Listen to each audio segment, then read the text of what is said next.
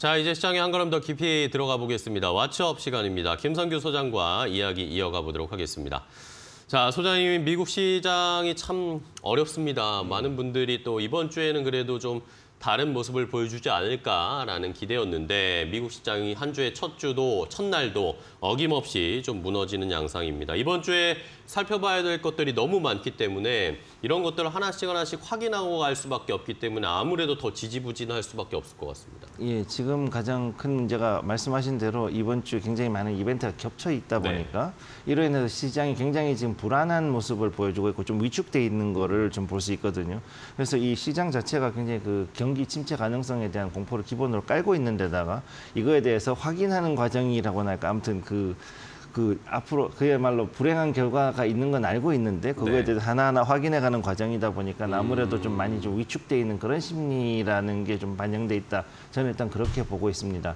지금 현재 가장 큰 문제가 일단 그 연준의 그 급격한 금리 인상 기조가 계속 나오고 있지 않습니까? 네. 이것으로 인해 가지고서 당분간은 이런 그 시장에서의 그 위축되는은 좀 더 커질 것이고 또 연준의 그 목소리가 더 커질 것이기 때문에 이에 따라서 결국은 그 유동성 자체가 계속 위축되는 상황이 벌어질 거라고 보고 있고 그다음에 이제 수요일 미국 시간으로 수요일이죠. 이때에 이제 CPI가 발표가 되는데 이때 이것이 과연 이제 9% 이상으로 육박하지 않을까 지금 네. 그런 예상까지 나오고 있으니까 시장은 지금 굉장히 그 공포를 가지고 있다고 보시면 됩니다. 특히 물가에 대해서 특히 그런데요. 이 부분을 결국은 이제 반영하는 것이 미 국채지 않습니까? 국채하고 이제 환율이 그 달러화인데 국채 금리는 지금 굉장히 상승을 해가지고 2년물하고 10년물의 그 수익률 역전이 계속 벌어져가지고 이 상황이 계속 가고 있다라는 네네. 얘기죠. 즉 이건 뭐냐면은 단기채로는 엄청나게 지금 그 초단기채 즉 빌 1년 미만의 빌 쪽으로는 몰리는데 2년물하고 10년물 같은 경우는 지금 계속 이게 좋지 않다는 이야기입니다. 그렇기 때문에 음. 2년물 같은 경우는 지금 이제 계속 금리가 올라가고 그다음 10년물이 떨어지는 그러니까는 2년물을 팔고 이제 저- 오히려 장기채 쪽으로 조금씩 그래도 좀 더 금리 좋은 쪽으로 더 몰려가는 그런 현상이 네. 벌어지고 있다라고 보시면 되는 거고요. 그래서 이로 인해 가지고 가장 큰 문제는 뭐냐면은 이제 다음에 달러 인덱스가 되는 거죠. 이 네. 달러 인덱스가 지금 오늘 108달러에 마무리했습니다. 이게 역대 최고치거든요. 네네네. 주가가 이렇게 올라갔으면 좋겠는데 이게 달러가 이렇게 올라가니까 이게 좀 문제가 되고 있고. 우리는 더 뼈 아픕니다. 네, 그래서 이런 상황이다 보니까 그 전체적으로 봤을 때 유로화라든가 파운드화 그다음에 우리나라 엔- 원화 같은 경우도 지금 계속 그 약세로 가는 네. 부분이 더 짙어지는 거죠. 그 여기서 이제 우리가 봐야 되는 게 그러면은 도대체 왜 실업 수당 청구가 높은데 실업률이 낮냐라는 이야기를 하시는 그러게요. 있잖아요. 그러니까는 분명히 실업자가 늘어났는데 실업률이 낮아졌어요. 이 얘기는 뭐냐면은 그 일반적으로 봤을 때 풀타임으로 할 수 있는 게 아니라 대부분 파트타임 job들만 아. 잔뜩 늘어나서 파트타임으로 들어가 가지고 일을 하다가 다시 또 다른 파트타임으로 즉 단기 직업으로 자꾸 옮겨가기 음. 때문에 전체적인 그 일반적인 일자리의 질, 즉 quality 자체가 지금 줄어, 줄어, 줄어들고 있다라는 그런 반증을 하고 있다라고 보시면 되겠습니다. 네. 자, 쭉 설명해 주셨지만 전반적으로 시장에 뭐 좋은 이야기가 하나도 없습니다. 찾아볼 수가 없는 상황이기 때문에 시장이 뭐 조그만 미스만 나와도 그대로 무너지는 양상이 나타나는데 자, 그렇다면 말씀을 해주신 것처럼 연준이 계속 강하게 금리 인상 기조를 이어갈 것이라고 예상이 되는데 만약에 뭐 이번 7월에 뭐 75bp가 아니라 100bp도 올리고 이런 식으로 강하게 금리를 인상하게 되면 전반적으로 증시는 더 부담을 받을 수밖에 없는 거 아닙니까? 지금 그 증시는 제가 지난번에 말- 지난번에도 말씀드렸듯이 일단 다우존스 같은 경우는 3만 선은 분명히 무너질 수 있다고 보고 있고 네네. 그다음에 나스닥도 지금 같은 상황에서는 만 포인트 선은 분명히 한 번 정도 무너지는 어. 그런 상황은 충분히 올 수 있다고 보고 있습니다. 문제는 여기에서 과연 얼마나 반등을 할 수 있느냐가 중요한 건데 음. 이 반등의 기미에 대해 가지고서 전체적인 그 아이비들의 의견이 그렇게 좋지가 못하다는 게 지금 그런가요? 문제가 되는 거죠. 일단은 골드만삭스 같은 경우도 그렇고 지금 한 30% 정도 더 빠져 야 된다 뭐 이런 얘기를 지금 하고 있고 30%나요? 근데 이거는 조금 제가 봤을 땐 과장된 것 같고요. 네. 근데 그래도 어느 정도 좀 그 지금부터 추가 하락은 면할 수 없다라는 것은 뭐 UBS라든가 여러 그 IB들이 계속 음. 이야기를 하고 있기 때문에 일단 지금 상태에서는 추가 하락은 충분히 있을 수 있다고 보고 있고 네. 그다음에 지금 이번 주부터 해가지고서는 금융주들이 실적 네, 발표가 들어가지 않습니까? 근데 이 실적 발표를 앞두고서 이렇게 지금 시장이 위축이 돼 있다라는 거는 그만큼 여전히 강하지 못하다라고 보는 거죠. 음. 물론 이제 이런 그 이런 상황에서 금융주들이 어느 정도 그 실적이 surprising이 나왔다 이러면은 약간은 이제 반등은 들어올 수 있는데 이번에는 조금 얘기가 다른 것이 전체적으로 시장 분위기 자체가 위축이 돼 있다 보니까 음. surprise가 나옴에도 불구하고 불구 하고 오히려 좀 더 그 주가가 빠질 수 있는 즉 실현 거기에 따라 이제 잠시 이제 반등하는 것을 그 보고서는 시, 이익 실현이나 혹은 이제 손 이제 손절을 거기서 하는 그런 매도 물량들이 많이 어. 나올 수 있다라는 거죠. 그렇기 때문에 이번 주 미 증시 같은 경우는 굉장히 여러 이벤트가 있는 속에서 변동성이 크고 그 다음에 또 굉장히 시- 위축된 분위기에서 한 주가 지나가지 않을까 일단 그렇게 보고 있습니다. 알겠습니다. 자 이번 주에 이벤트들이 굉장히 많고 이 금융주, 뭐 골드만삭스, JP모건 이런 주요 금융 금융주들의 실적 발표가 줄줄이 이어지기 때문에 그런데 또 걱정을 해야 되는 건 지난 분기에도 금융주들의 좋은 실적 발표하고 나서도 차익 실현 물량이 또 빠- 많이 나오는 그런 양상이 지난 분기에도 나왔기 때문에 이번에도 또 그런 것이 반복되지 않을까라는 우려감도 좀 있는 상황입니다. 자, 그럼 또 글로벌 이슈, 글로벌 celeb들의 이야기 확인해 보면서 여기에 어려운 상황이지만 또 투자 힌트를 얻어보도록 하겠습니다. 최현 캐스터가 준비했으니까요. 함께 확인해 보시죠. 안녕하십니까 셀러버나레트 최윤입니다. 간밤에 S&P 500의 목표치를 하향 조정하는 IB들이 꽤 많았습니다. 먼저 UBS 측에서도 이 S&P 500의 목표치를 낮춰 잡았는데요. 키스 파커가 투자 노트를 발행을 했습니다. We tweak our earnings forecast lower. 우리는 올해와 내년 실적 추정치가 하락하는 등 일부 변수가 변함에 따라서 실적 전망치를 하향 조정합니다라는 투자 의견을 제시를 했습니다. 실적이 좋지 않기 때문에 목표치를 하향 조정한다라는 투자 의견을 제시를 했는데 에버코어에서도 역시나 마찬가지로 S&P 500의 목표치를 낮춰 잡았습니다. 달러와 강세, 노동시장 긴축, 공급망 문제, 재고 구축과 맞물려서 경기 후퇴 시나리오가 전개되면서 마진과 EPS는 압박받고 있습니다라는 투자 의견을 제시를 했습니다. 특히나 어, 에버코어 측에서는 S&P 목- 목표치를 4,300선에서 4,200선까지 낮춰 잡았는데요. 어, 이렇게 하향 조정하는 S&P 500 지수에 대해서 김성규 소장님께서는 어떻게 생각하고 있을지 스튜디오 연결해서 들어보고 가도록 하겠습니다. 자, 역시 뭐 미국에서도 계속 눈높이가 낮아지고 있습니다. 뭐 말씀해 주신 것처럼 글로벌 아이비들의 눈높이는 점점 낮아지고 있네요. 네, 이게 원래는 예상 다 했던 건데 단지 이걸 시장에다가는 좀 얘기하지 않았다가 이제 조금씩 네. 진실을 얘기한다라고 저는 서로 하는 좀 건가요?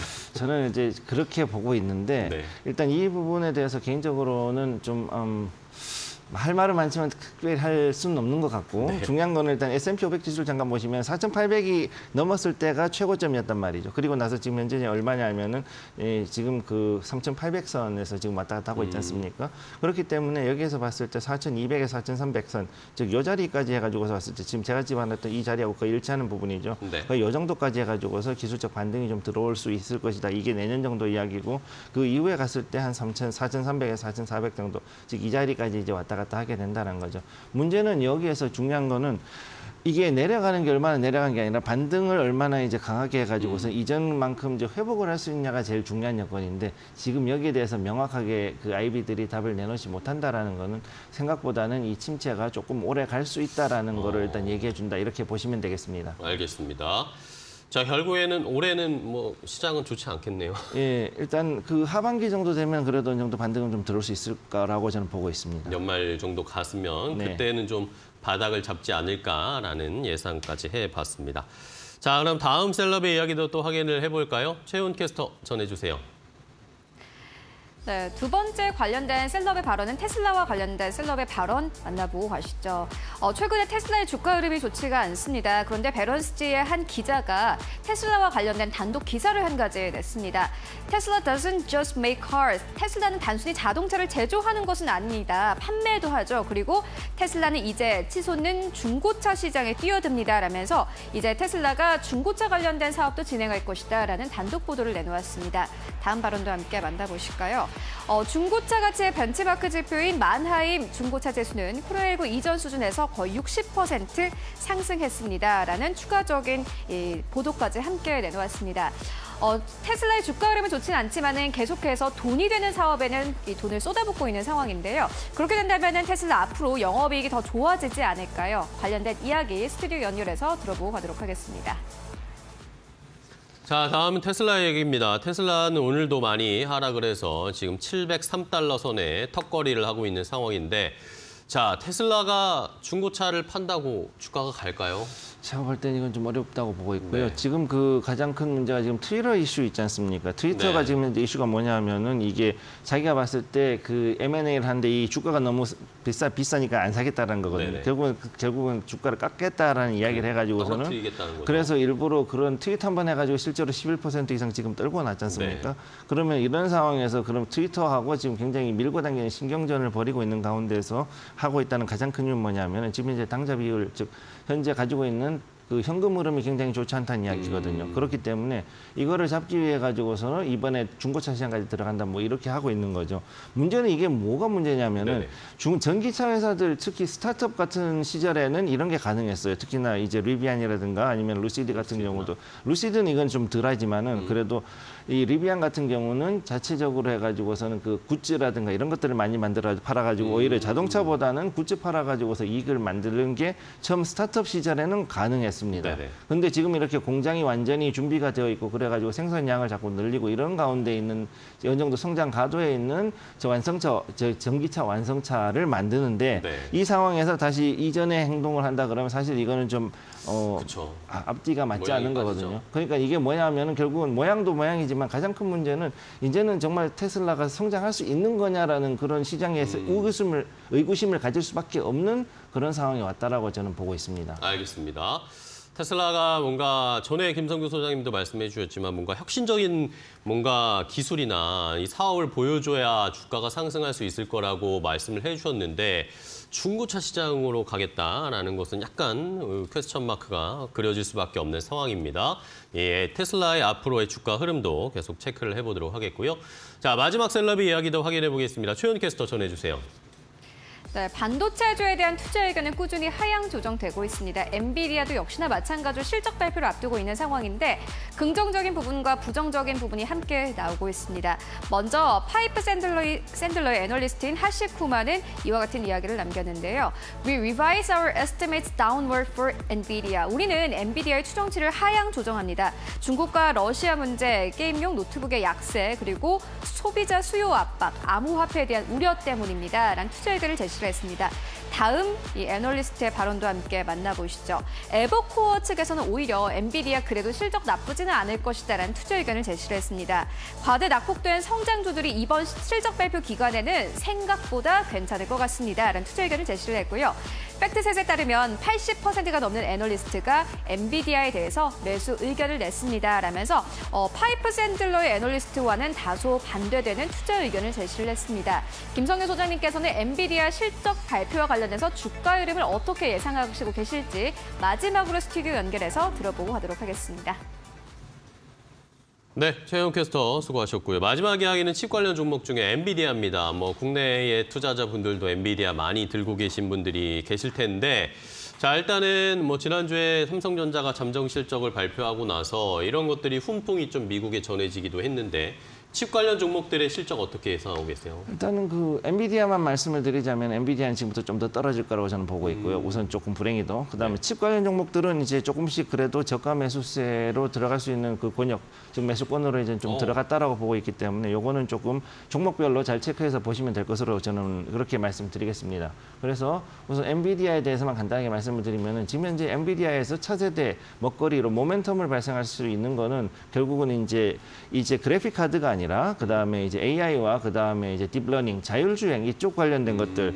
이런 즉 이런 그 약간의 좀 더 차세대의 이런 부분에 관련된 기술하고 그게 관련된 칩들이 이제 엔비디아가 기술이 있거든요. 네. 그럼 이쪽으로 해가지고서 모멘텀이 넘어가야 되는데 이걸 하기에는 아직까지는 시장이 좀 더 그 성숙해야 되고 두 번째는 뭐냐면은 여기에 대해 가지고 5G망이 좀 네트워크가 좀 더 활성화가 돼야 되는데 아직까지 중국을 제외하고 이렇게까지 활성화된 나라가 그렇게 많지가 않다라는 네. 게 현재 이, 이 엔비디아의 성장을 좀 방해하는 요소라고 볼 수 있습니다. 그렇기 때문에 5G망이 같이 올라가게 되면 결국은 거기에 따라서 엔비디아도 같이 상승할 수 있지 않을까 저는 그렇게 보고 있습니다. 알겠습니다. 자, 엔비디아에 대한 김성규 소장의 의견까지 자세하게 확인을 해봤습니다. 잘 참고해 주시기 바랍니다. 자, 오늘 왓츠업 그리고 셀러몬 마리츠까지 김선규 소장과 이야기 나눠봤는데요. 소장님 오늘도 좋은 insight, 재밌는 이야기 들려주셔서 감사하고요. 내일 아침에 또 뵙도록 하겠습니다. 고생 많으셨습니다. 고맙습니다. 고맙습니다.